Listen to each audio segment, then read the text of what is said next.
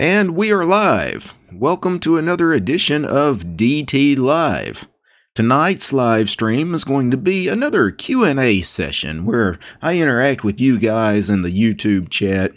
Uh, you guys leave your questions and comments. Of course, we usually have a pretty big crowd here, so obviously I won't be able to answer everything that gets posted, but I'll try. Those of you that leave super chats, though, I'll be sure to, to catch all of your comments and questions. Those of you that are already here, we've got 81 people here at the start of the stream. Uh, give me a yay or a nay on the audio levels because I'm not monitoring the stream audio. So I do like to confirm that you guys are actually able to hear before we get started. Just because, you know, pulse audio.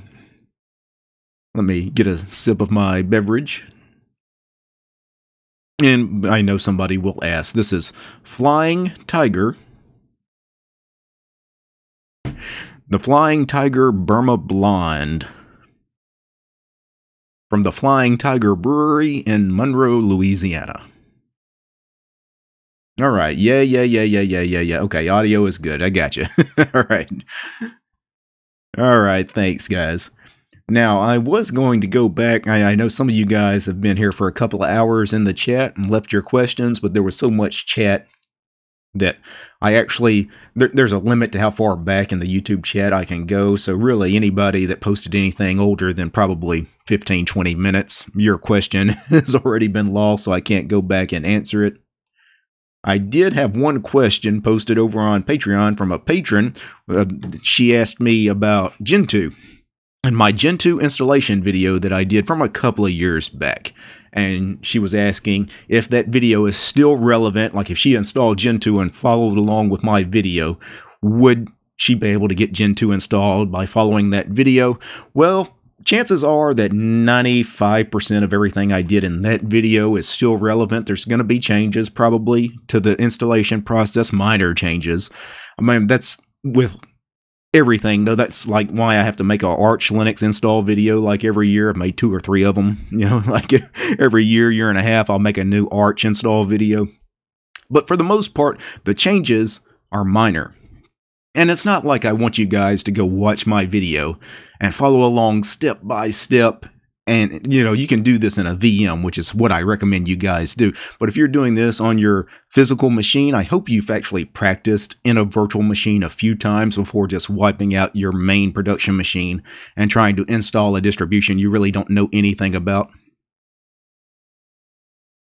So I am monitoring the uh, the YouTube stream here, and it looks like there is some buffering. Are you guys experiencing buffering? It is storming here. That's the reason I ask.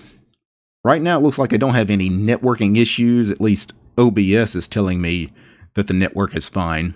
But it looks like on YouTube's end, I was previewing the stream for a second, the video, and it looked like it was buffering a bit. There's some pretty serious thunderstorms outside here today.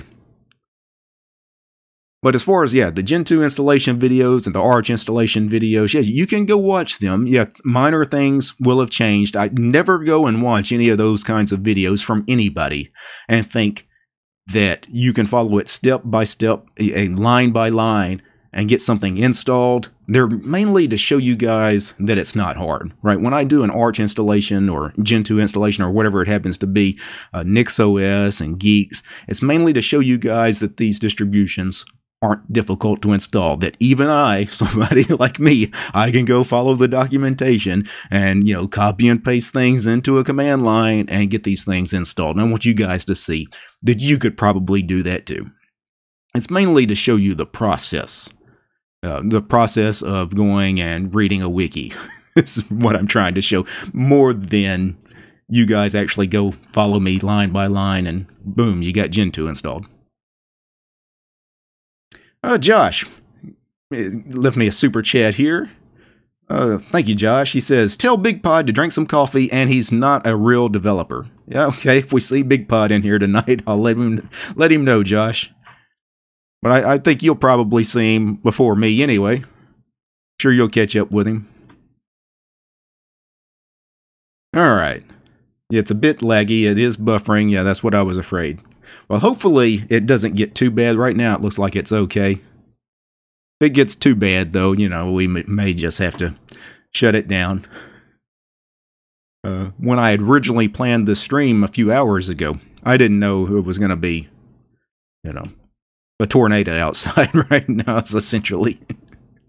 uh, also, if you hear some loud thunder, you know.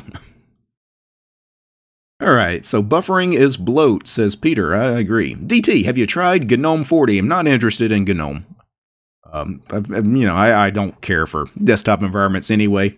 I'm not going to go try GNOME 40 just to, you know, for myself. Uh, eventually, though, I'll probably review some distributions that will ship with GNOME 40, and you know, we'll have a look at it on the channel. But just you know, me playing around with things on my own, yeah. Uh, I, I don't care about GNOME. I don't care about GNOME as a desktop environment. I definitely don't care about the people behind GNOME.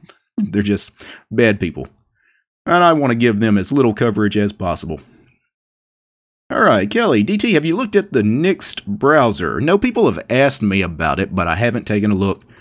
And uh, Kelly goes on to say it's written in Common Lisp, yeah, and has Vim, Emacs, CUA usage modes. Okay, well, it, sounds cool, and people have asked me about it. I just haven't gotten gotten around to it. Maybe something I, I get around to soon. Let me open up a page here in my Emacs here off camera. Actually, got a little show idea org document that I, I jot things down in occasionally. Hopefully, I'll get to that at some point, but uh, don't hold me to that. so we'll see, though. I'll write it down, though. The Nyxt browser. I've got things planned. I've got a couple of things planned here in the next uh, three or four days. I've got, I think, three video ideas that are already in the works. Um, and I think a couple of them you guys will be interested in. I don't want to spoil things, but but uh, we're not reviewing any browsers anytime soon. But if I do check out a new browser, maybe the next one I take a look at will be the Nyxt browser. There's another one people keep asking me about too that I'll eventually get around to. Uh, can't remember which one that is. It's another one of those minimalist browsers. All right, let's see. Uh, uh, I had a super chat here. I lost uh, Michelle. Uh, she says, Cheers for answering the question. I'll follow the advice. The documentation is decent enough. Yeah, I mean, even if you follow my video, open up the Gentoo wiki and, you know, go line by line with the wiki. And if it comes to a point where the wiki tells you to enter something that's not quite what I'm doing, then go with the wiki because it'll probably be more up to date than my video. But the video is mainly not to be a manual to follow. It's mainly, hey, just watch my video. Don't don't even have the Gentoo wiki open. Watch my video and just watch me the process. I'm going to go read the wiki, then I'm going to enter this in a terminal. I'm going to go read the wiki, then I'm going to enter this in a terminal. It's mainly to show people that are not used to doing that kind of thing that that's all you need to do. Because a lot of people think this stuff is harder than it is.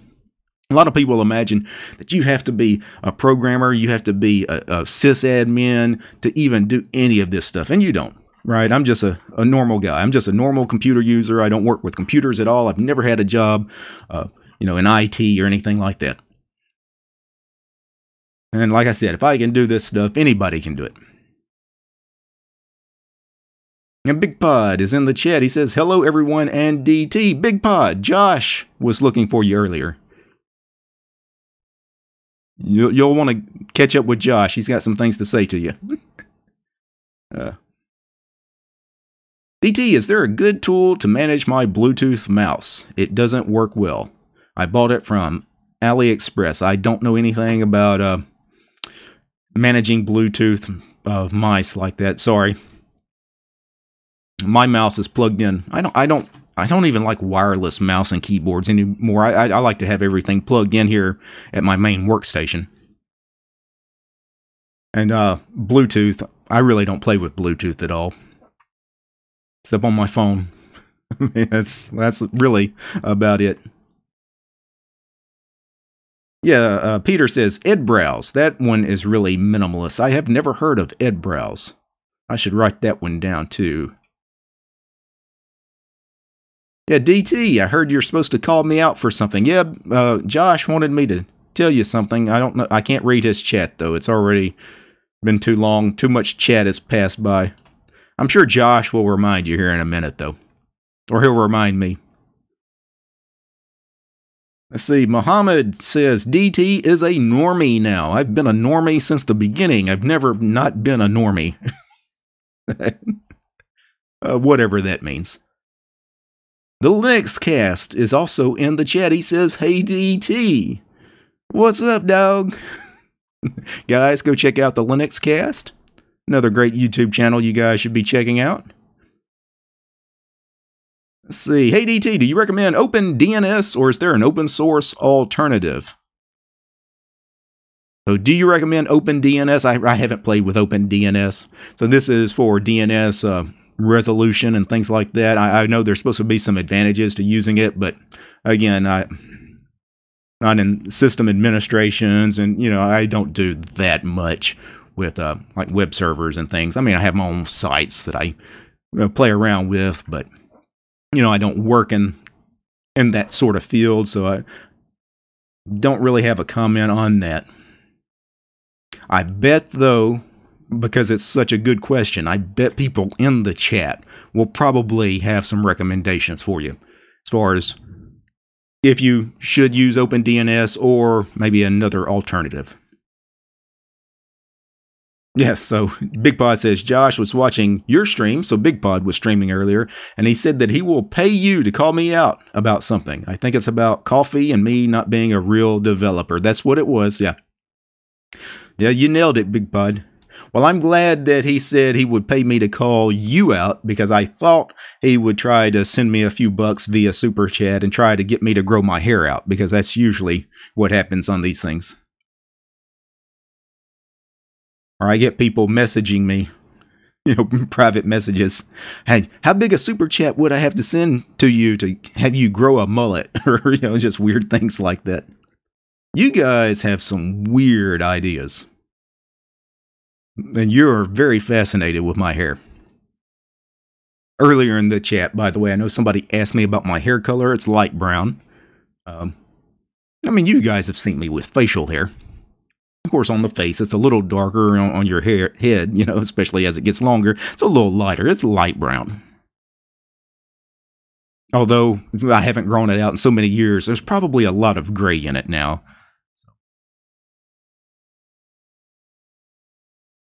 Let's see, Michelle. Hey DT, new Debian version is coming around soon. Any interest in reviewing it? I'm always going to take a look at the really big releases. So when Debian comes out with a new version, yeah, I'm always going to take a look at that. When Ubuntu has its big releases, especially the LTS releases, I'm always going to take a look at them. Fedora, I usually take a look at the Fedora releases. Like usually I don't miss those.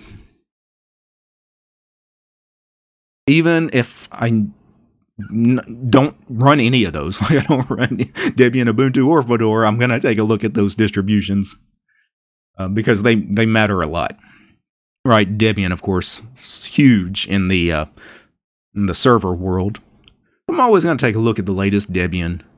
Ubuntu LTS, of course, is probably the most popular Linux distribution on the planet. Although, you know, I was looking for some interesting news items earlier today, you know, Linux related news items, maybe to spark some discussion. So I went over to Google News and I typed in the word Linux. And the third article down is titled MX Linux is the most downloaded Linux distribution, and now I know why. So this is an opinion piece, and the title of it is MX Linux is the most downloaded desktop Linux, and now I know why and it's a Tech Republic article. And I'm looking at that title, and I was like, there's no way. Wow, that thunder is really loud. I do apologize, guys. If I lose networking and the stream goes down, it's, like I said, a pretty serious storm. But uh, this is ridiculous. I mean, this is Tech Republic is kind of a legit website. I mean, they do tech related news. And how could anybody think MX Linux is the most downloaded Linux? Uh, and this guy, this uh, uh, journalist here, Jack Wallen, I mean, I've seen this guy around for years, writing at Tech Republic and other places. He's not new to Linux, right? he knows better. There's no way this guy thinks MX Linux is the most downloaded Linux desktop distribution. And of course, he's quoting DistroWatch. What makes this even funnier is DistroWatch actually does not m- measure Linux downloads. But he claims that. he says this MX Linux is the most downloaded Linux distribution on DistroWatch. DistroWatch has never ever measured Linux downloads. That's not what DistroWatch page hit rankings are. Matter of fact, DistroWatch page hit rankings. This means this is the number of times people visited the MX Linux page on DistroWatch. People didn't download anything. Most of these people that visited that page probably are not running MX Linux. Maybe none of them. oh, yeah, it's just. Oh, I, I, I was shocked when I. I mean, everybody does like clickbaity kind of articles and things like that. That I don't mind clickbait. That's just part of the game, especially in, in print journalism. You got to have a catchy title to get people interested to read the article and hopefully, you know, this site Tech Republic will make a little ad revenue. But man, that that's not clickbait. That's just flat out wrong. like that's just I'm surprised. And again, the guy that wrote it, I know he knows better. I just don't know. I don't know why he went that direction. Hmm. Anyway, ran over. Uh.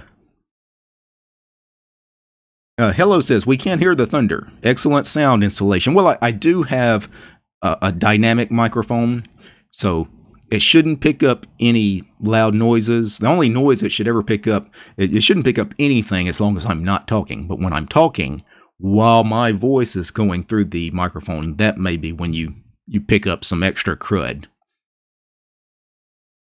It would have to be a really loud, like lightning strike, for it to actually actuate the mic on its own without me speaking, though.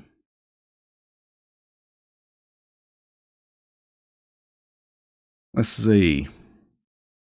Yeah, Peter says maybe they have a broken download link so people need to download it multiple times. We're talking about uh, MX. No, I'm, I'm, I'm sure people use MX. MX is nowhere near the most popular desktop Linux distribution. I mean, that's just that's just silly. I mean, we all, all of you guys probably are pretty heavily involved in the Linux community. You talk to a lot of people that run Linux, um, like me. You know, I talk to all of you guys. All you guys run Linux. And, you know, when people ask, hey, what distribution are you running? How many people do you actually come across that are running MX Linux? Right. Now, how many people do you ask that question and they tell you Ubuntu or Mint or Fedora, right? Yeah. Um, MX is definitely not the most popular desktop Linux distribution. We really don't have any good metrics to measure that stuff. DistroWatch is not. DistroWatch doesn't even try to measure that stuff. The, the DistroWatch page hit rankings, they're kind of a joke uh, because they don't really measure anything that matters. Page hits on D- DistroWatch's site. That doesn't matter at all because anybody can game that. I can create DT's OS tomorrow and with my audience on YouTube, I can tell you guys, hey, here's the DTOS page on DistroWatch. I can link to it in every single video I put out. And I promise you, within a month, I will be the number one distribution on DistroWatch. Nobody, none of you guys are probably even running my distribution. It could be my distribution is broken, it doesn't even work. But as long as I get you guys on that page on distrowatch.com, I will be the most popular Linux distribution in the world according to some tech journalists. so that's how that works. DT, Doom Emacs is really slow compared to Vim. What should I do?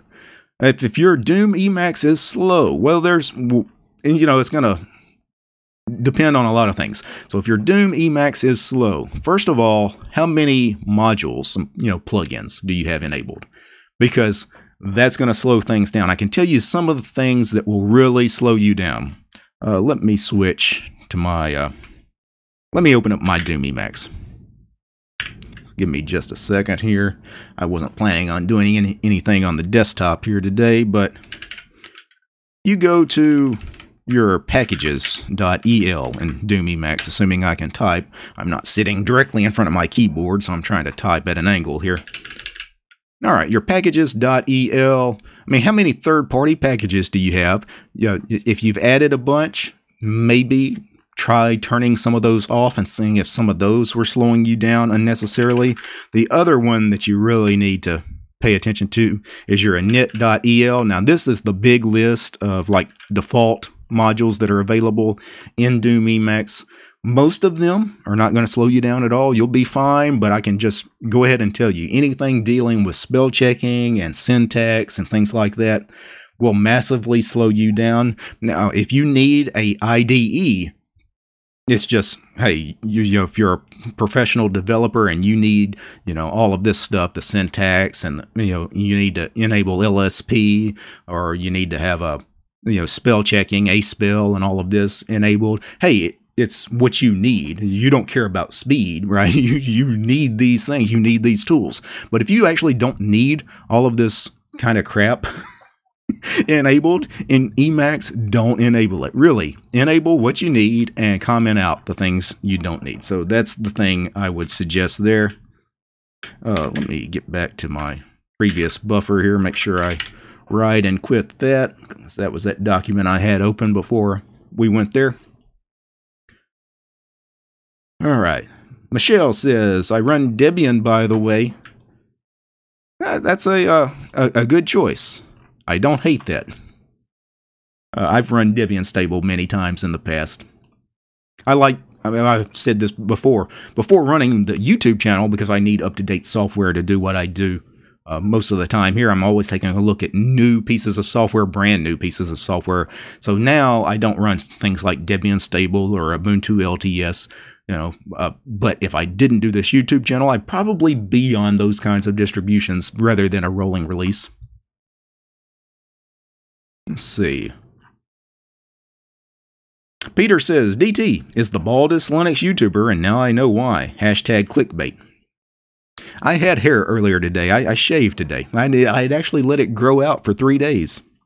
I'd actually considered just letting it go for six months just to see what happened but then I was like, no, people will troll me about it. You guys have gotten used to the baldness, so I've got to keep it up now. You got to keep up appearances. Yeah, DTOS. That's right, Henry. One day. No, I'm not interested in managing a, a complete distribution. Yeah, Big Pod is uh, uh, explaining to somebody. Yeah, there's a crap ton of people running the LTS editions of Ubuntu. Absolutely. Yeah, millions, tens of millions, probably. Yeah. There's not tens of millions of people running MX, right? Or Manjaro. Manjaro's, I'm sure, has more users than MX, though. Manjaro's actually become pretty popular. Like, you, you do find people in real life running Manjaro. I think what's really helped Manjaro kind of become popular is Linus Tech Tips has mentioned Manjaro a few times, and you know Linus when he does his videos about Linux, you know they get you know two three million views every time he, he talks about Linux. So that's millions of people that have never even heard of Linux. You know, he's, he's sitting there playing with Manjaro or whatever they're doing. And then they go grab the ISO for Manjaro.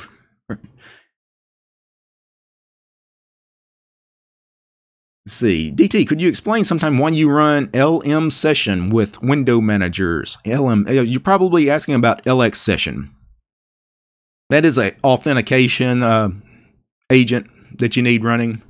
So you know, how sometimes you open certain programs and they need elevated privileges. Like you'll open up uh, the most obvious one I know of, Gparted. If I opened up Gparted, it's going to ask me for my root password and administrative password. Uh, some other ones, uh, G, GUF, uh, GUFW, the uh, firewall, the graphical version of the firewall, un- uncomplicated firewall. It needs elevated privileges, of course, to change settings in the firewall. Well, how do these programs uh, know that? Well you have this authentication agent running in the background uh, and you need some kind of session running in the background to, to handle that stuff. I use lx session. You guys you don't have to use that particular one.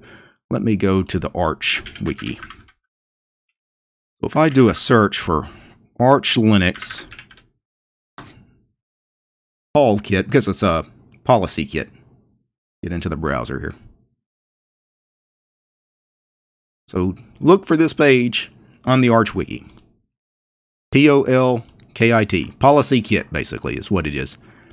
and then you need one of these programs installed. These are the authenticating agents.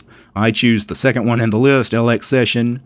But if you have one of the other ones already installed because you use a desktop environment that already shipped LXQt policy kit or Mate Polkit or Polkit dash GNOME or whatever it happens to be, XFCE Polkit.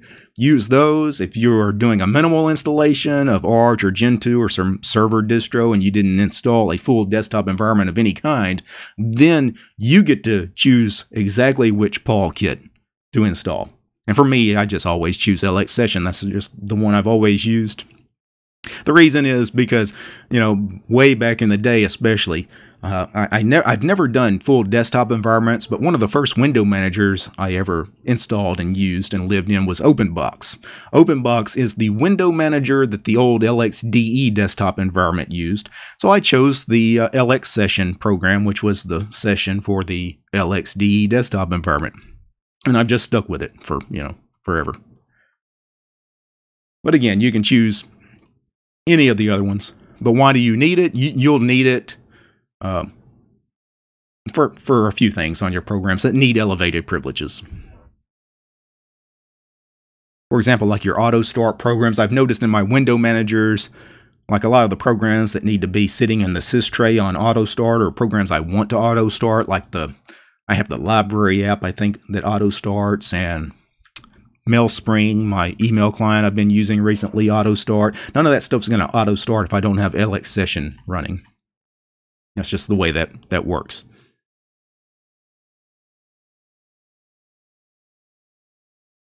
Let's see. Yeah, there's tens of millions of users on Ubuntu mainline for LTS releases. Yeah, that's absolutely right. And that's just talking about the desktop. If we're talking about Ubuntu LTS server, then I mean we're talking about millions and millions and millions of, of servers who knows how many millions of Ubuntu servers are out there. I doubt anybody could even guesstimate at that number. Especially with servers, because there's so many servers out there that never see an update. You know, they're not ever really connecting to the Ubuntu repositories. A lot of people will set up a server and never update it at all for years.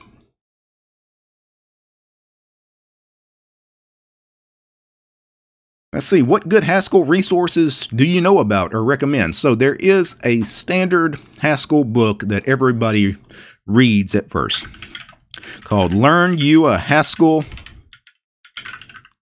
for Great Good. I believe is the name of it. Let me do a search for it.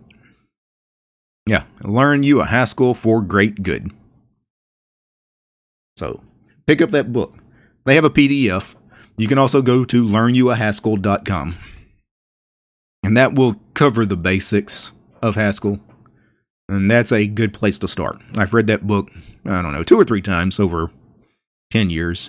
that's not something I read. Like, it's um, when I decide, hey, I, I, need to get back into Haskell, or, you know, I haven't played with Xmonad, you know, in a long time or whatever, because I first tried Xmonad like 10, 12 years ago.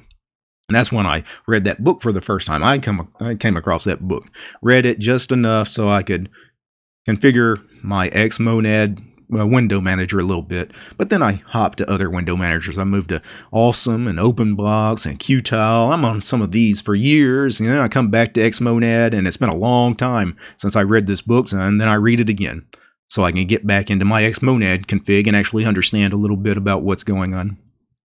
So yeah, that's one you definitely want. The Haskell community is a pretty fervent community. There's a lot of people that are really excited about Haskell, the language. So you will find uh, there, there's a Haskell IRC chat that's that people hang out in. Thousands of people hang out in all the time. There's I'm sure there's Haskell subreddits. You go to Stack Overflow, I'm sure you can ask a Haskell question and find plenty of people that will answer your questions on Stack Overflow.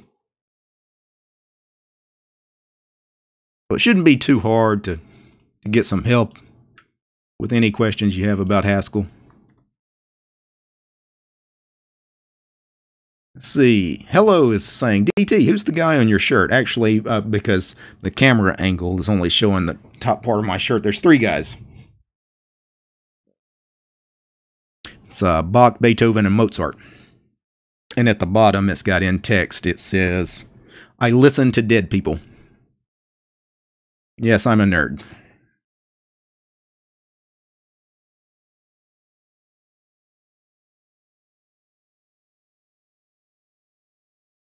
Let's see. DT, how ripped are you under that shirt? uh, that's a weird question. Hello. I've, I've got some muscle.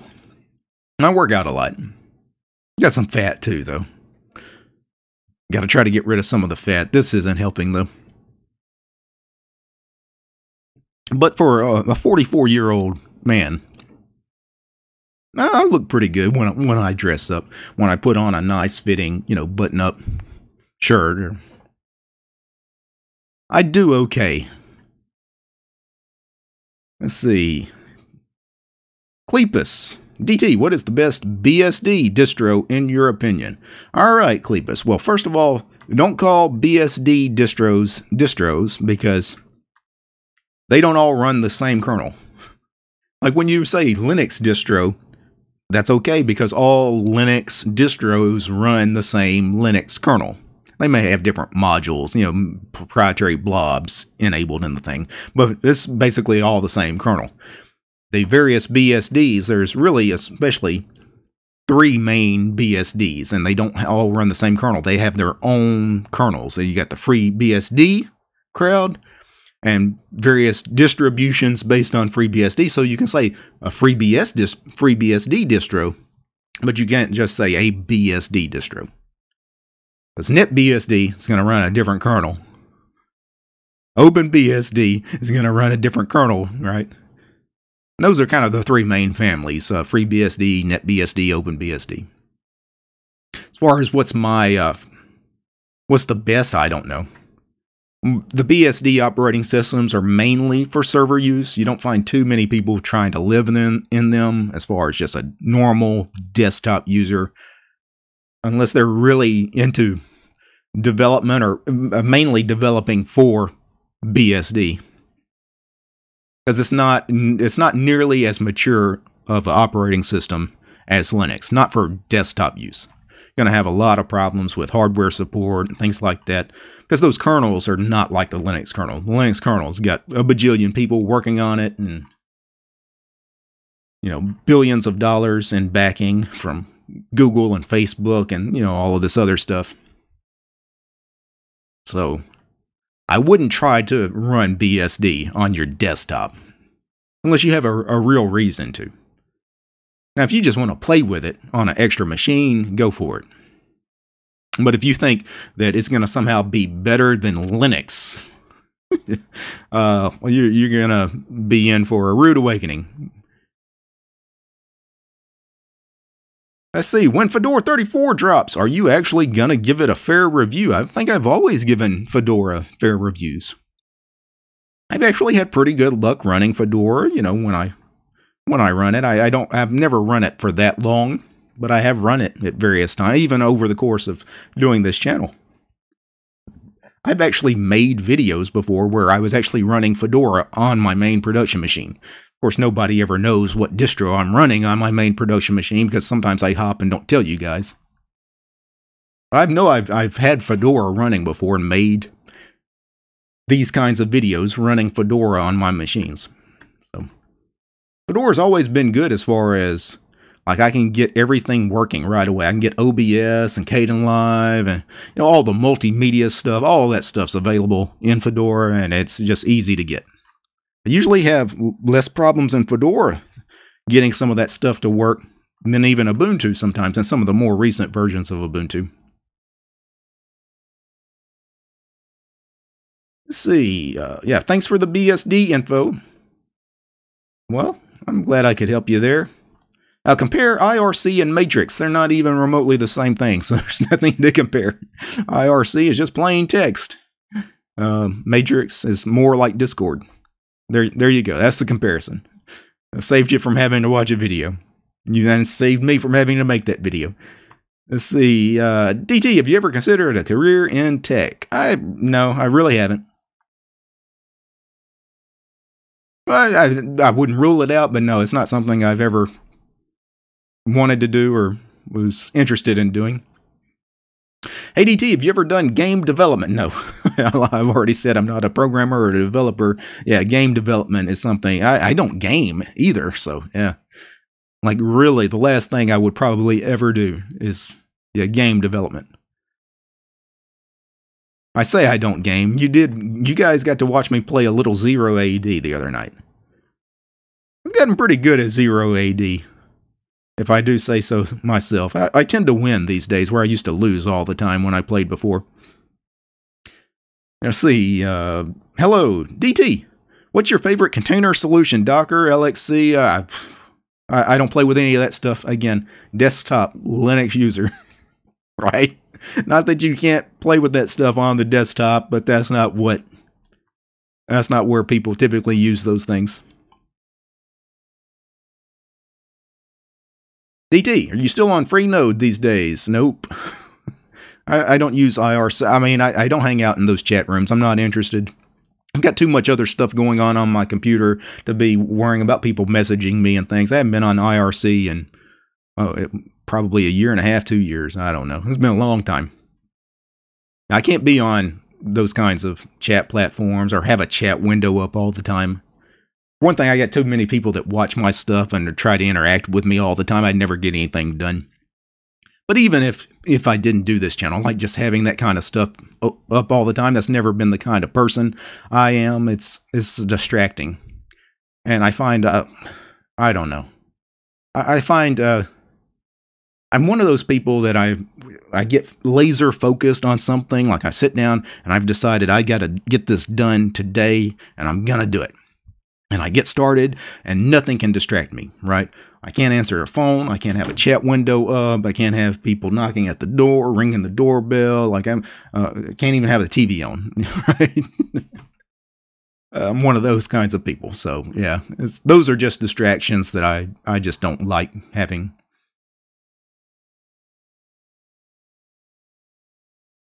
Let's see. Yeah, Cleepus, I loved your April Fool's video. I cracked up when you clicked Windows 10s.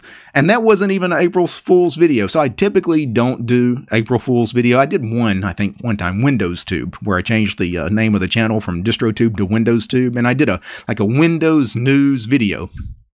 And even that video, even though it was kind of funny, it was like legit stories about Windows. But the uh, the one you're talking about where I reviewed Windows 10 for the very first time, you know, kind of like my distro reviews because I don't I haven't used Windows like 12, 13 years or whatever. So I'm going to review Windows 10 for the very first time. It makes sense because I it's a review channel, right? and people were like, "Man, I know you were joking when you clicked Windows 10s. It was the first option." That wasn't a joke. I mean, why wouldn't you click the first option in the list? I don't know what the hell Windows 10s is. They didn't even explain it in their inst- installer. So, oh.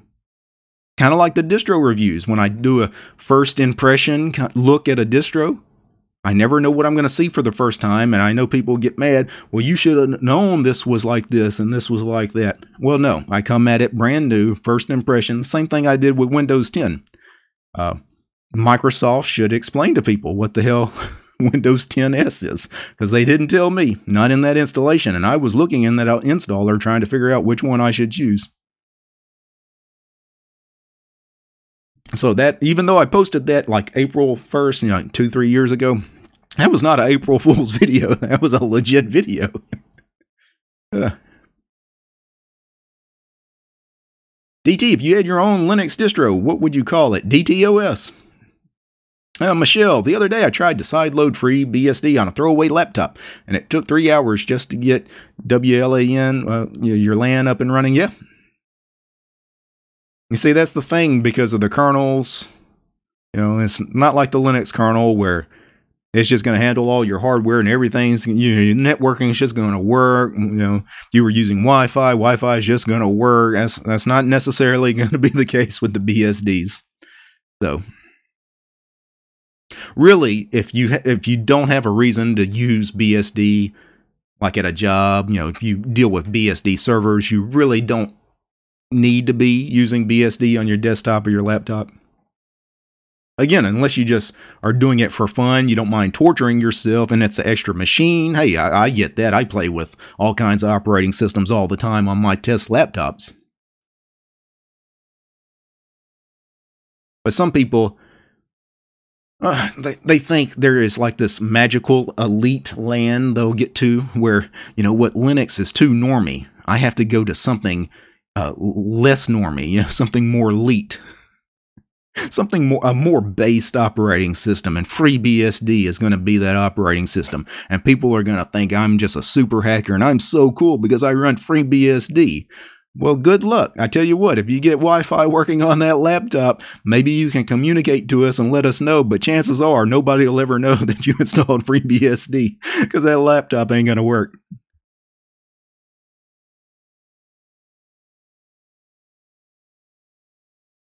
Yeah, I put GhostBSD on my main production machine that one time.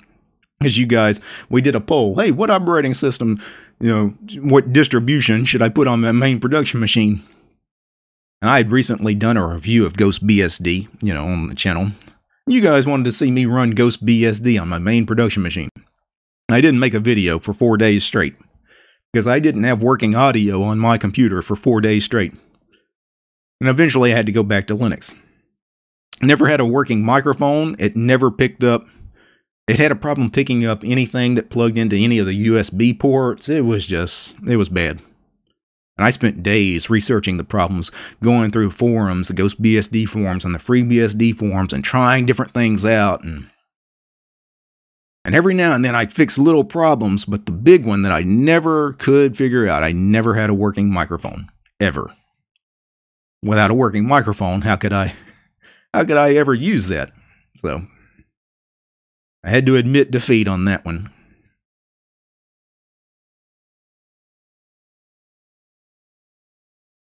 Yeah, Big Pod says, I'm still so sad Windows didn't win on that one. Yeah, I forgot. Windows 10 was a choice. I said I was going to run something for what, 30 days? And being that I've never really run Windows, you know, not Windows 10 anyway, no, none of the real modern uh, versions of Windows, that would have been an experience. It wouldn't have been the worst thing because it, it would be educational for me to actually learn a little more about Windows. The problem with the Windows uh, votes in that poll, uh, we had somebody trying to stack the votes for Windows, so I kind of disqualified Windows from that poll. We had a father son duo create a bot. I guess they wrote a bot to uh, continually vote Windows up in the poll which is rather cool. I, am glad this father and son got together and got to do this nerdy project where they were going to try to stack the ballot against me. But I was like, yeah, but I can't really. It's, it's no longer a legit poll if I know all these votes for Windows 10 are fake votes. Let's see. DT, of the three musicians on your shirt, who was the best? Uh, it depends. Who is the best at what? If you're talking about who was the best as a musician or as a composer. So the three people on the shirt are Bach, Beethoven, and Mozart. If you're talking about uh, legit musical talent as a performer, Mozart would probably be the most talented of that bunch. Although Bach and Beethoven were very talented musicians as well.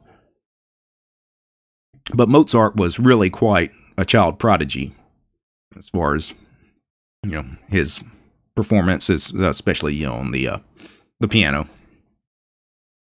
the keyboard. Though Bach was very proficient at the organ, well known for his performances. As far as a composer, Bach was definitely. uh, I mean, uh, that's tough because all three are just gigantic figures in music history. You talk about the history of music, like the the, the three three guys here all were giants. Everything you guys are listening to right now, it, pop music, metal, and everything, you, know, you owe a lot to some of the stuff these guys did back in the day. But Bach was the better composer as far as just the overall quality of the music he put out, he put out a massive catalog of music. Bach wrote so much music that even music historians to this day still don't know how this man wrote so much music. Like there's just volumes and volumes, just books and books of all of his music. You go to a, like a music library, and it has been said from some historians that if you had to copy Bach's music by hand today, and of course he had to do all this by hand. This was centuries before computers. If you had to copy Bach's music by hand, one guy estimated it would take somebody 70 years to do that. so, how the hell did he write all of that in his lifetime? It's just crazy, and it's very consistent as far as the quality of that music. Bach wrote some just fantastic stuff. Yeah, Mozart and Bach were medieval metalheads. Well, they weren't medieval. That's a different time period. They, these guys were a little, little later than the medieval period. Medieval music wasn't nearly as developed.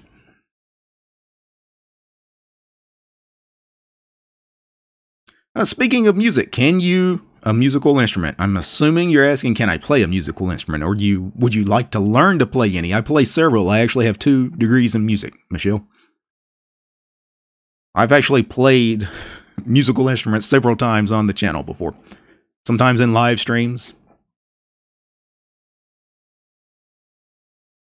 Let's see. Bach had a ghostwriter. I mean, he must have people are still uh, amazed at that that volume of music that he wrote. Oddly enough, not no one really knew about Bach as a composer during his lifetime. He wasn't well known.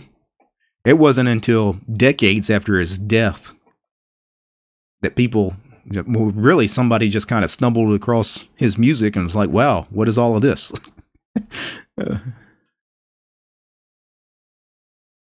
Yeah, Beethoven also didn't write his last two symphonies, probably. He was deaf.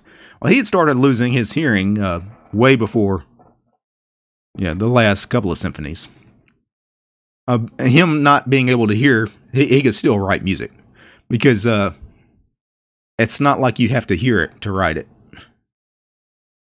He doesn't you know he didn't have people performing the music so he could hear it and then write it. You know it's not like today where you've got this feedback where if you're at a keyboard that's plugged into your computer and you're you know playing on the keyboard and the music's happening you can hear it and it's being written to the sheet music if you will on your screen no that's not what they did before this kind of technology he heard it in his head he knew exactly what he was putting down on paper and he could hear it in his head so even after he lost his hearing, he still knew what he was writing.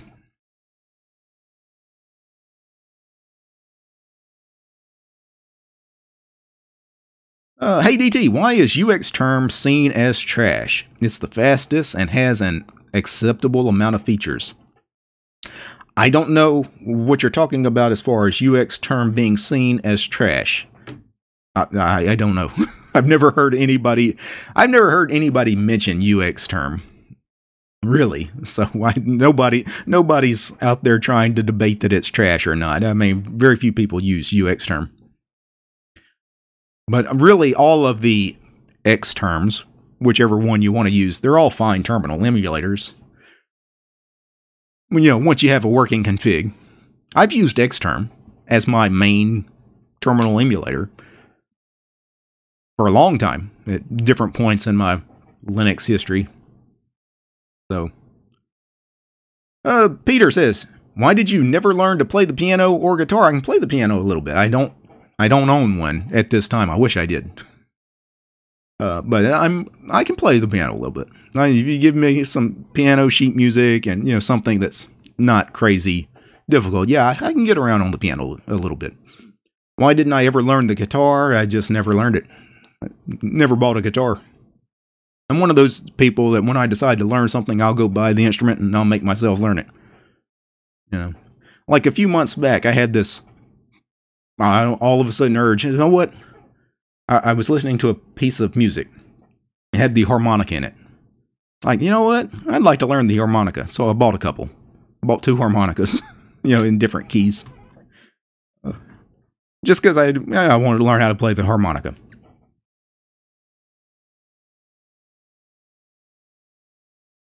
see. I know I've missed some of the chat here. Let's see. Yeah, Mozart wrote the Requiem and his last symphony without a single correction in the manuscript on his deathbed when he was terminally ill. Yeah. And these guys, you know, because they spent years writing this music the that way without needing to actually be at a keyboard and play it while they write it, or you know, having a string quartet or a symphony, you know, play it back as they write it, you know, trying out different things. You know, these guys just got used to. They knew what it sounded like in their head. They didn't. They didn't need to put in a whole lot of trial and, and error. I, I know Bach was like that. That's why he was able to write so much music. You know, he could write these really complicated pieces of music, all of these, especially things like all of his fugues, which are kind of complicated. And uh, yeah, he, he just he he knew what they were going to sound like when he was as he was writing it. Harmonica? Did you mean the accordion? No, I meant the harmonica.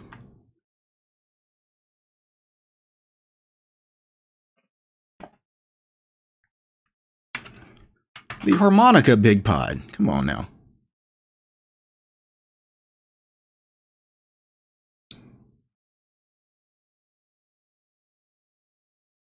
Let's see.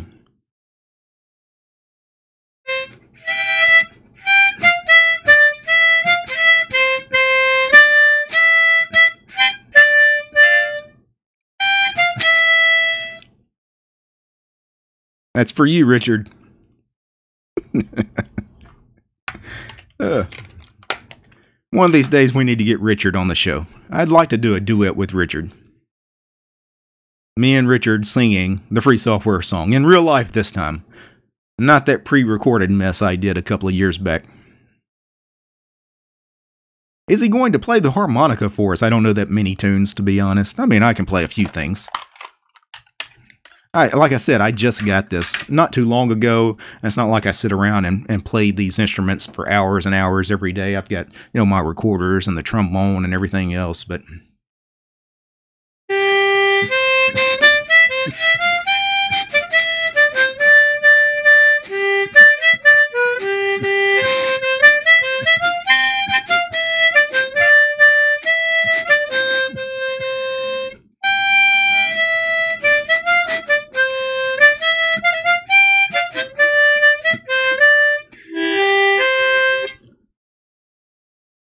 Let's see. Yeah, that was a little uh, Aaron Copland. DT, did you listen to a lot of dead people? What's your uh, hardware audio setup? Well, obviously, all the classical music I listen to, yeah, most of those people are no longer with us, but even a lot of the popular music I listen to, you know, I listen to a lot of stuff from the 70s and 80s, especially. Many of those people are no longer with us.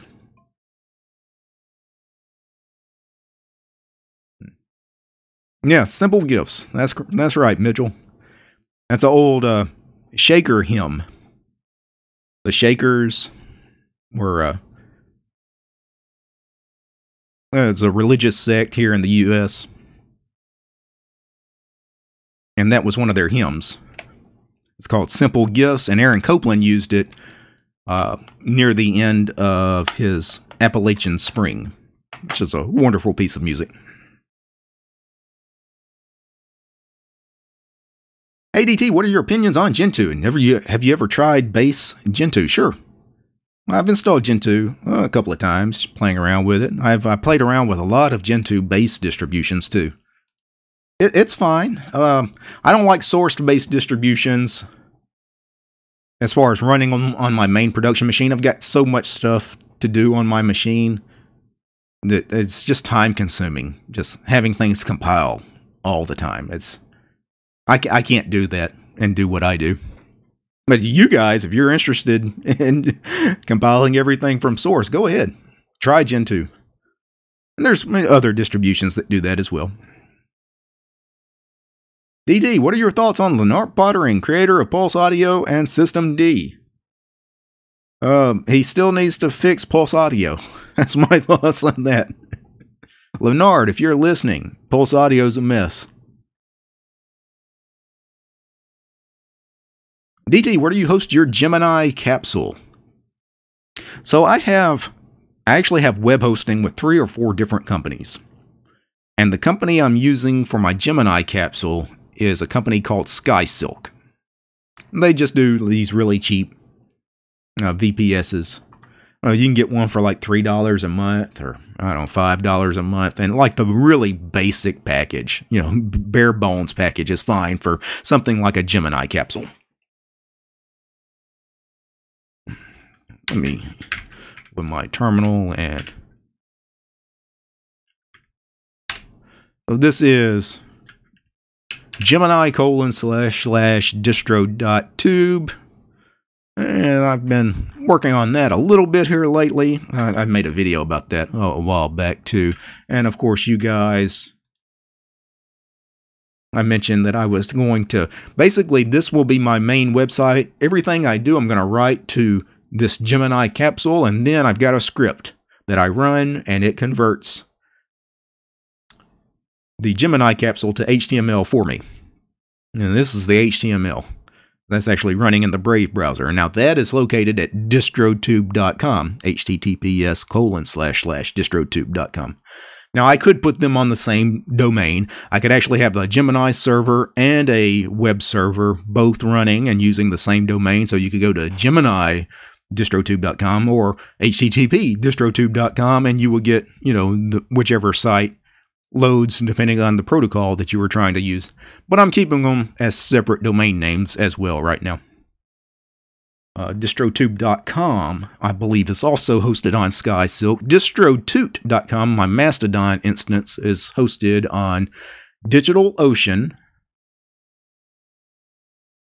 I've also got some web hosting over at uh, oneandone.com, although I think they have they changed their name recently. Um, I know that's typically where I register my domain names. I, have been using them forever, uh, 15, 20 years. I've used a lot of different, uh, a lot of the big web hosting companies that people have heard of. I've probably have used at one time or another.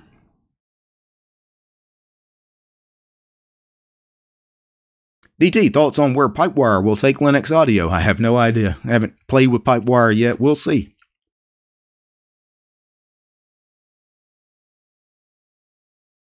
I have the perfect harmonica amplifier. Keep practicing, and I'll send it for free. All right. Let's see, DT. Well, that we I got confused since my language we call accordion or harmonica. Yeah.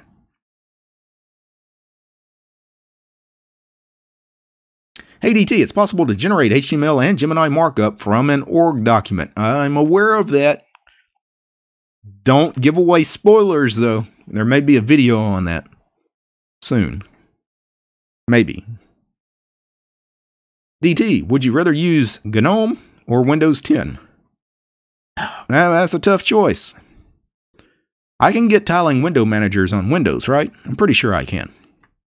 Although I have used GNOME and I, I, hacked GNOME in such a way I basically was using it like a tiling window manager, I could probably get by with either.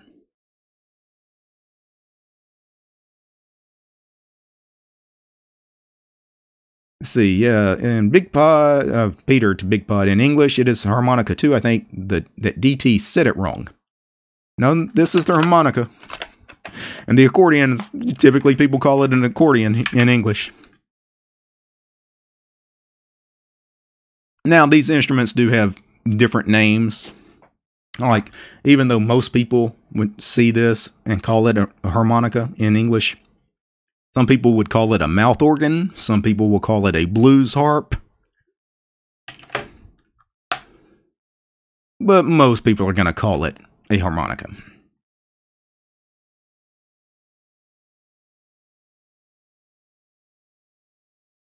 Let's see. Pipewire broke Spice and Virt Manager. You uh so you didn't have sounds in your virtual machines, I'm assuming? Yeah. Yeah, I can see how that could be a problem.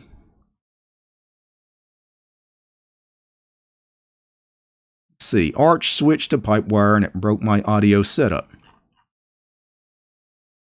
Now, yeah. That's life on a rolling release distribution right there, though.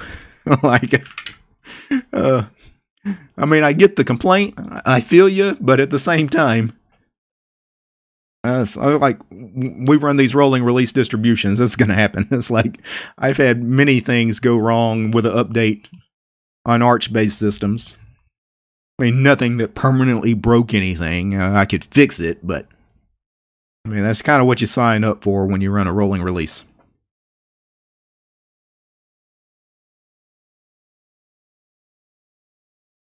Let's see. Sorry for the repost. Are there any resources to make a backed, I'm assuming back end maybe, back end for a Gemini capsule? I'm trying to do it for a coding project.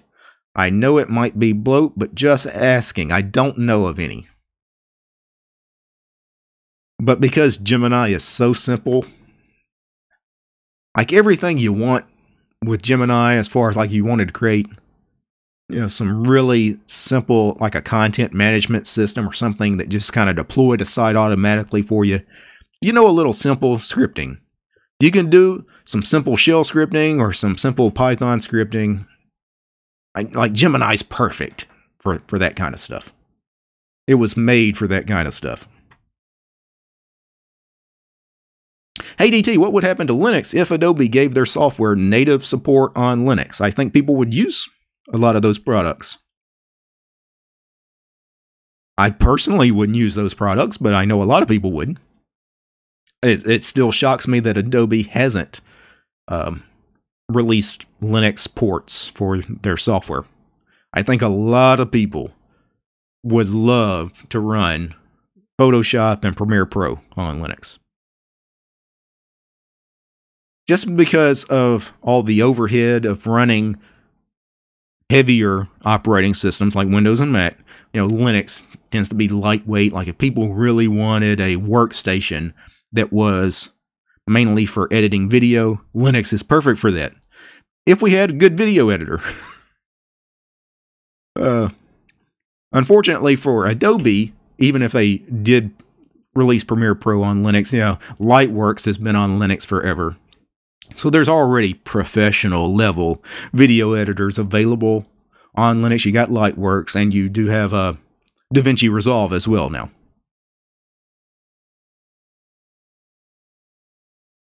Uh, thanks for the super chat.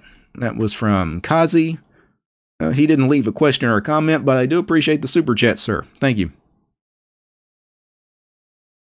Now, I've never had anything go wrong after an update on Arch or Gentoo. Give it time.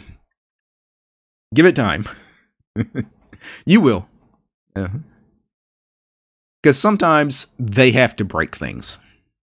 Now, sometimes, like if there's a major update to something, like moving away from Python 2 to Python 3, for example, just give you an example of one that happened to everybody that was running Arch based systems not too long ago. All your Arch, all your uh, programs that needed Python 2 they're not going to work without Python 2 installed on the system. So, uh, and so sometimes you get major updates to these programming languages that break all the apps that use those program those programming languages. And the solution is well, you got to go reinstall all those programs, have them compile again, compile against the right version of that programming language. So yeah, I, I get you've never had anything break. Well, then you've probably been on Arch or Gentoo for like a month or two. Give it time, it'll happen. It, it won't be anything that you're going to have to reinstall for, probably. Hopefully not. It'll be things you can fix within a few minutes. And usually you go to like like the Arch front page. They'll tell you, hey, this update's coming out. It's going to break this. Here's what you need to do to fix it. So, and I think a lot of people, when they have these breakages, they don't go and actually check out like the news on the Arch Linux page. Because if they just check the front page for Arch Linux, usually they'll tell you, hey, this is about to drop. It's going to break this. Here's how you fix it. Uh, thanks for the super chat there, Alex. says, hey, DT from Shaved Head Bro. Okay. How do you manage your time to be so performant? I'm not sure what you're asking. How do I manage my time? You're asking about like just work schedule and how to get things done in a timely fashion. I, I mentioned this earlier in this stream. I don't typically when I set aside a block of time to do something, I do it, and I try to limit distractions. These days, I think a lot of people are, you know, we live in this new world where ADHD is the norm, the attention deficit disorder, and, and people get are just flooded with all this input. Everybody's always got their phone next to them that's blowing up with notifications. And people, if I have got all my monitors here, you got a Discord chat window open. You got Netflix playing on a monitor over here. Maybe you got something else playing on a TV over here against this wall. And yeah, turn all that crap off. right. A lot of people also ask me about notes and note taking, note taking applications. I don't really do much of that, although I've been getting more and more into it since moving to Emacs. I've been playing a lot more with org mode because I like org mode. And org mode makes it really easy to keep notes and keep an agenda, keep a calendar, appointment book, if you will. Though for the most part, I, have never used that stuff, and I, I, don't think I need it. I, I, think a lot of times, a lot of people, once they really get obsessed with note taking applications and appointment books and calendars, they spend more time on that stuff than they actually do on the work they need to get done, if that makes sense. Like some people get way too obsessed with their calendars and appointments and agendas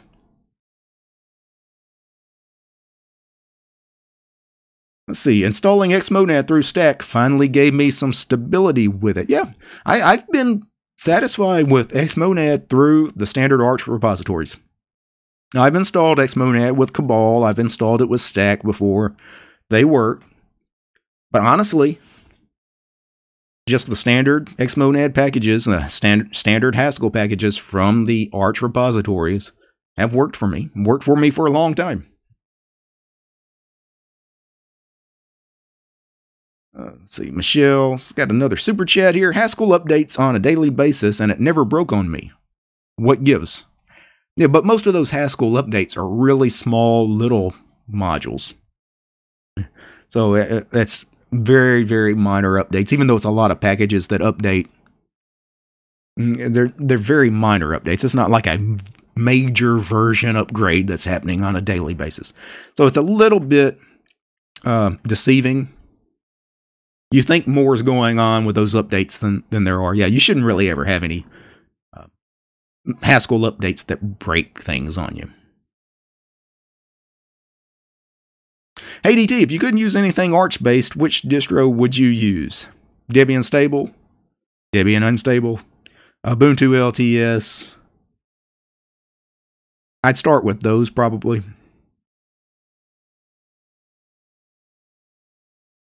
I've run all those before, so I I'm saying you. If you're asking me for your you, yes, maybe try some of those.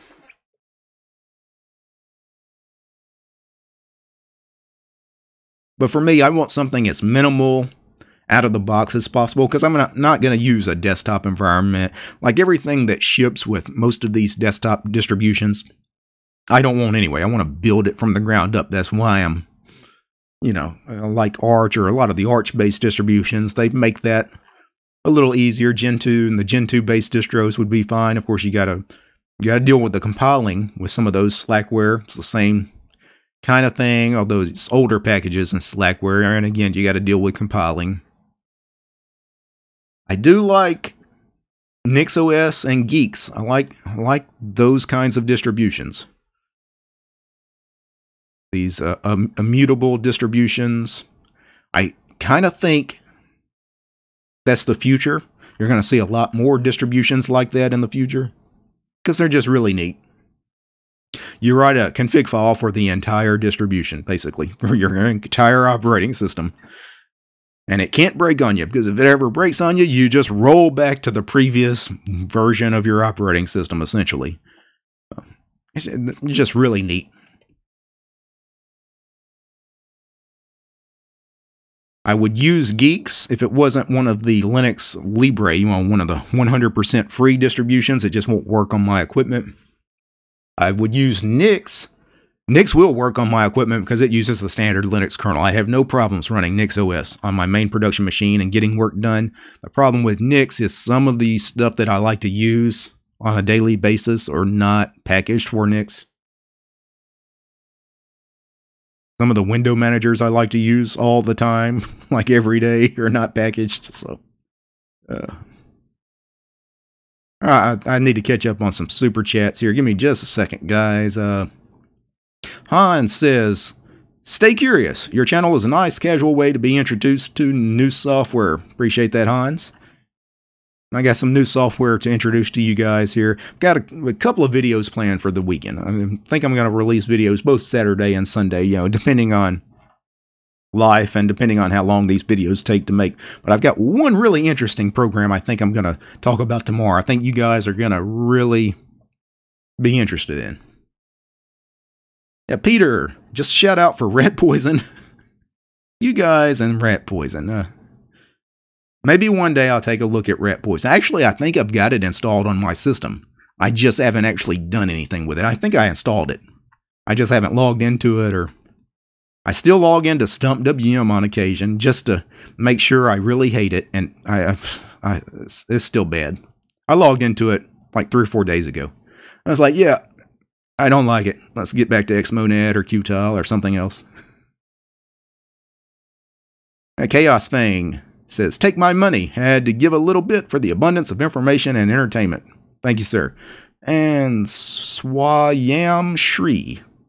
I know I mispronounced that name. I do apologize. Tell us a bit about your life outside of YouTube. Well, right now, there's not much going on outside of life and uh, what I do on YouTube.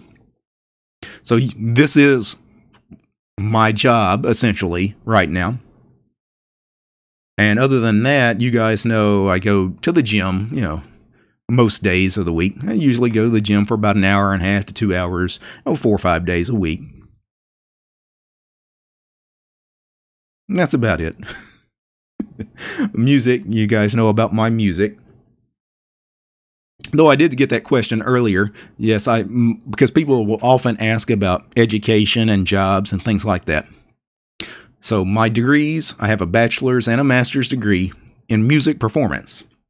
That's what I went to school for. That's what I trained to be a professional musician, classical musician. So, yeah, not into computers and programming. I didn't go to school for any of that stuff.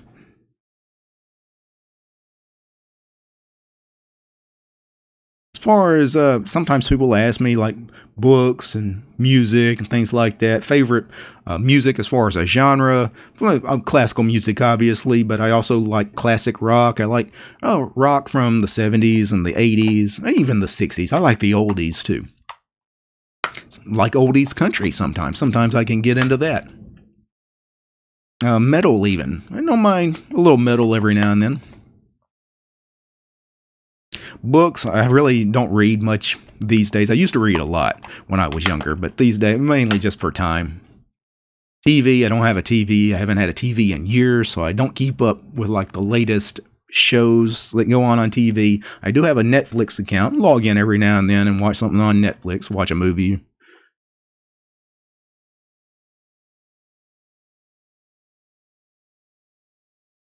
See. No tucks, no bucks. What's that? Oh, that's somebody's nickname. Okay. hmm. Let's see. DT, what is harder, rocket science or music theory? Uh, I will say uh, people end up flunking out of first year music theory.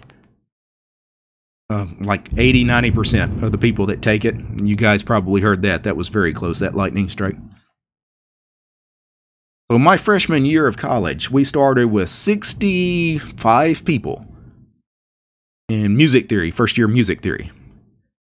Second year music theory, we started with 12. Of those 65 that started in first year music theory, when I graduated, two other people graduated with me. So, the problem is a lot of people get into music thinking that well they're going to go get degrees in music and they really don't understand what they're signing up for. They don't understand. There's a lot more to it than what some people think. I wasn't one of like i knew what i was getting. I had already t- no, taken some music theory even in high school read books and you know but some people really they sing all the time. They sing in church, right? They sing in their church choir, and they really don't. Know, I'll go to college and I'll get a music degree, but they have no idea what they're really going to college for, as far as what that music degree even entails. So then they get into first year music theory, and uh, some of these people can't even read music, much less really get into you know some of the theory behind it and some of the physics behind it.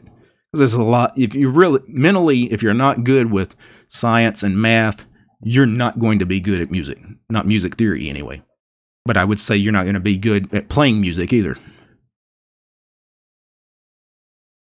You got to have kind of that mathematical kind of mindset.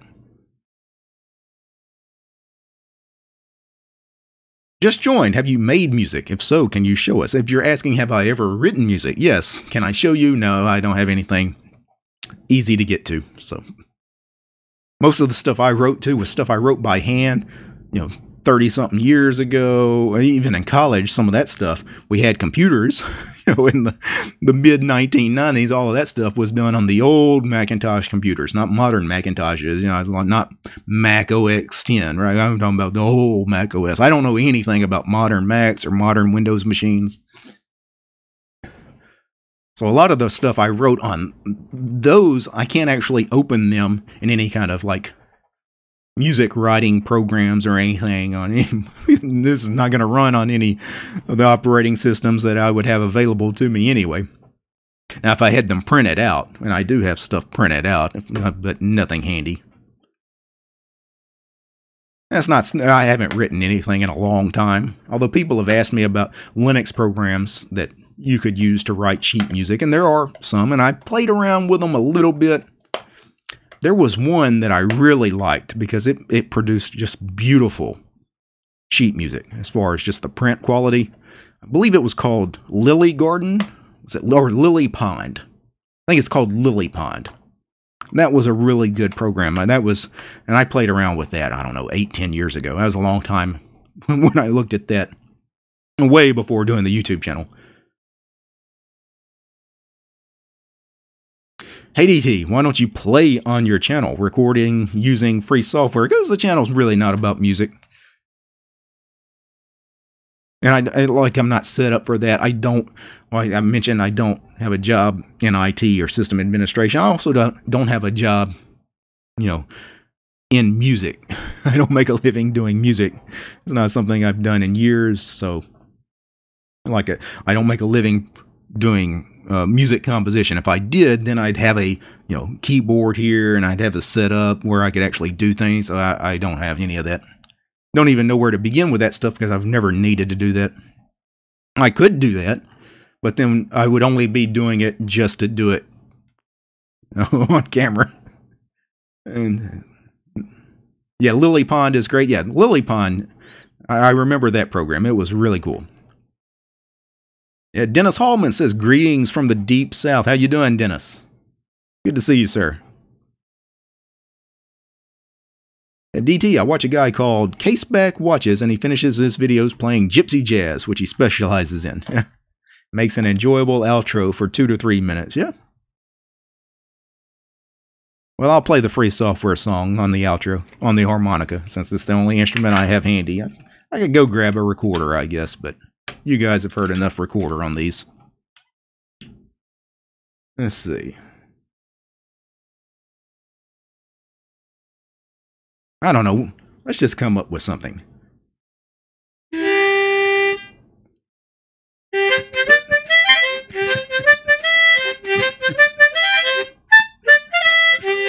Ooh. Hello from Ohio, says Merle. How you doing, Merle?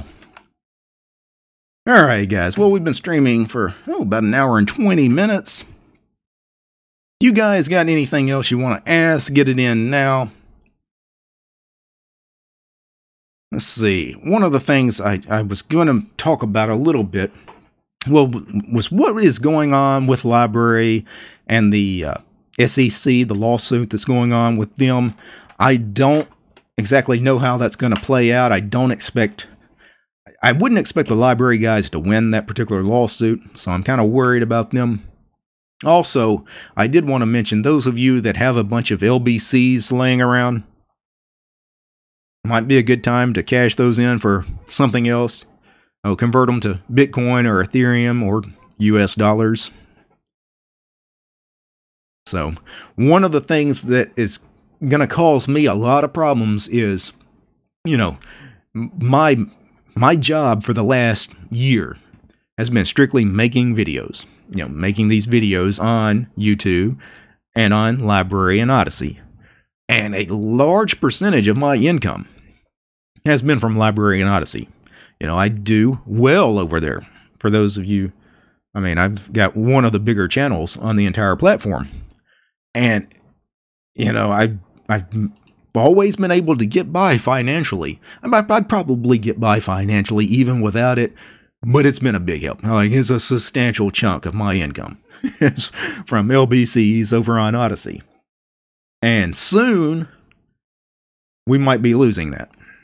So now one of the interesting things is because the SEC is suing LBRY is a lot of the crypto exchanges here in the US are dropping LBC. They want nothing to do with it because they don't want to get into legal problems. So, uh, one of the biggest exchanges here in the US is Bittrex. It's a global exchange, but specifically for US customers, a week from today, next Friday on the 16th, they are delisting LBC from their platform. So no longer you if I want to go do a currency exchange, LBC is not something I can exchange anymore.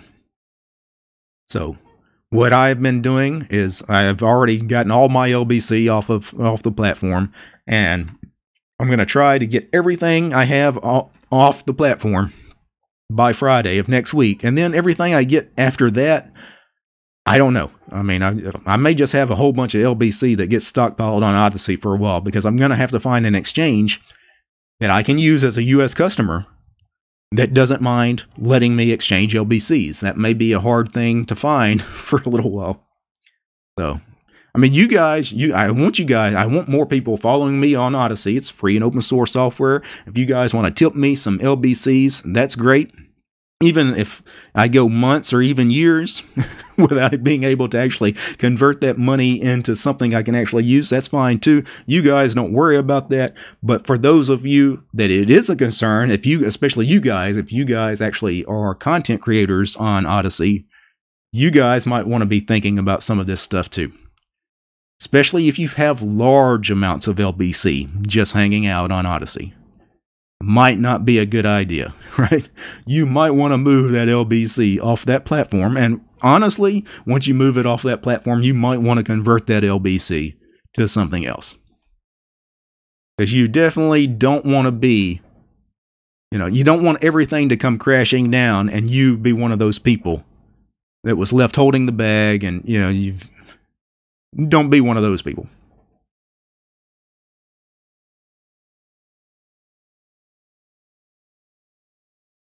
Let's see. Hmm, looking for some questions here.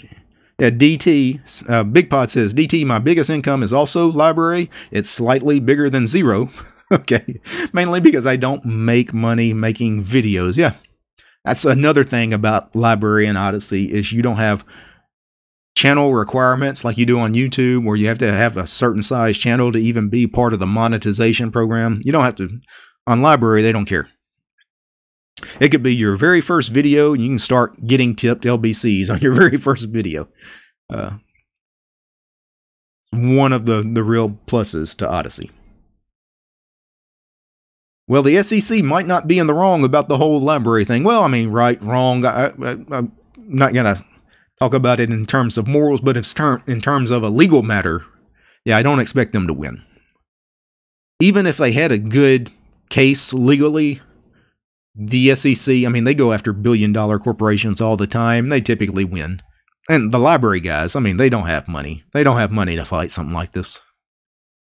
They're not going to, they're going to go to court but they're not going to win. I, I, I, would I would suspect they won't. I, I hope they do. I hope they win because it would be a really big deal for obviously LBRY, but I think the crypto industry as a whole. but I'm not expecting it. I'm preparing for the worst.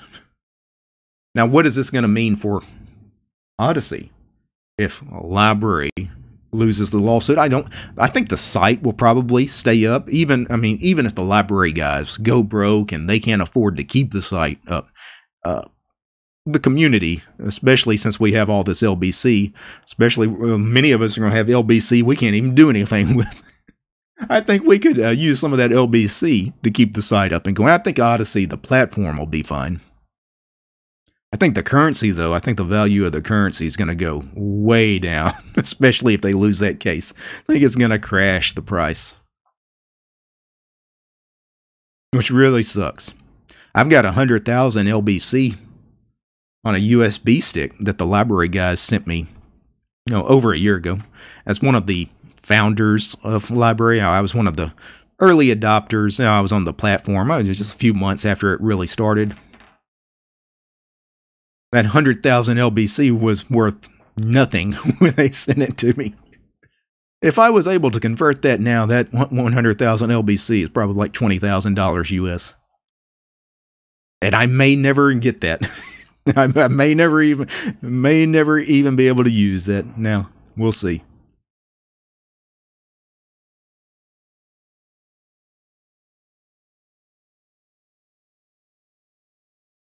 All right. All right, I think that was about all I wanted to talk about. Talked about a little bit about what I was doing with Gemini, about the LBRY situation, thought maybe we'd bring up the uh, free software stuff just very briefly because people have asked me. I haven't talked about. You know, I made the video about it when it was fresh. And as far as, you know, my thoughts on it now, still the same. I think uh, having given it a week or two, you know, just to absorb what's going on within the Free Software Foundation itself, I think it's been a good thing for the Free Software Foundation. I suspect that they've been flooded with a lot of new membership now. Because I see a lot of people saying they've joined the Free Software Foundation in support of, you know, the Free Software Foundation reinstating Richard. So financially, it's probably been a, a good thing for them. So that is good for those guys. For Michelle here, her super chat says, Shout out for the day. It was fun chatting with you all. Good night. Thank you, Michelle. And I agree. This was a fun stream. I'm going to go ahead and kill the stream here in another minute or two. So, last call. You got to get it in in the next 30 seconds. So, it's recorded for YouTube and Odysee history. Assuming this gets synced to Odysee, we'll have to see.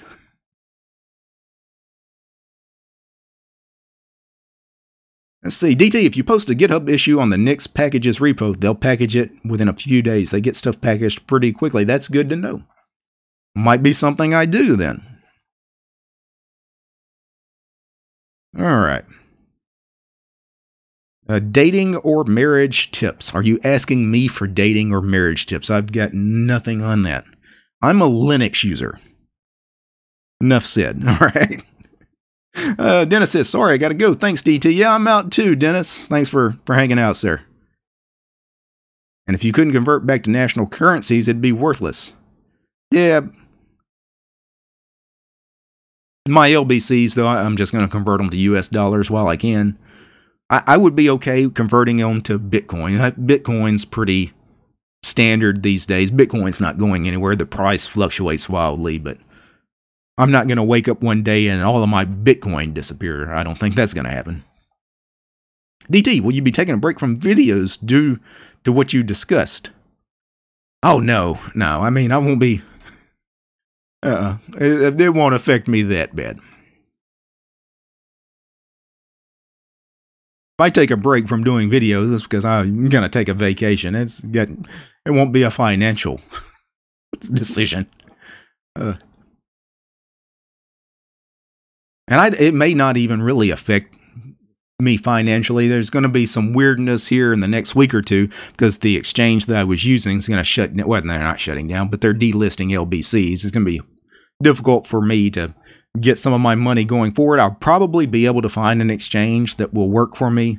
I don't know. We'll, we'll just have to see. Here in the U.S., though, a lot of exchanges that do business in the U.S. are scared to touch LBC right now. But I, I bet I'll find one crooked exchange, you know, one really shady exchange that I have no business having my money tied up in. I bet I'll find one of those that I can at least do something with. Yeah, thanks, DT. Really enjoyed the evening. Set me up for an awesome weekend. Have a great one. I appreciate that. Well, let me get out of here, guys. This lightning is, you know, really loud. You guys probably heard that la- last thunderclap there.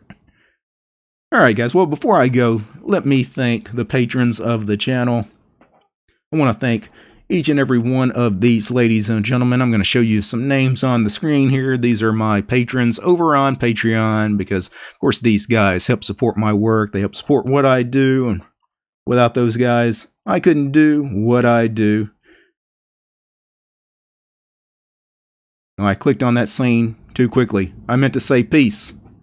Now back to that scene. That's so unprofessional.